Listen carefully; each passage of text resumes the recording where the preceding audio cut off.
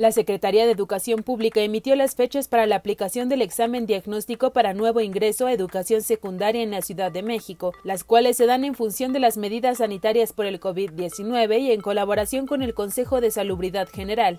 La evaluación se efectuará el próximo 3 de julio y la publicación de los resultados será del 27 al 29 de julio.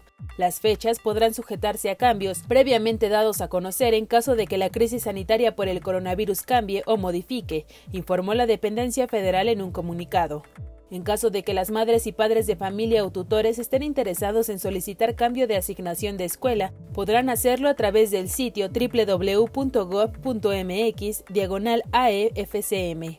El 30 y 31 de julio será el periodo para realizar solicitud de cambio de plantel, así como para realizar preinscripciones extemporáneas a lugares disponibles. Del 12 al 14 de agosto se publicarán los resultados de cambios.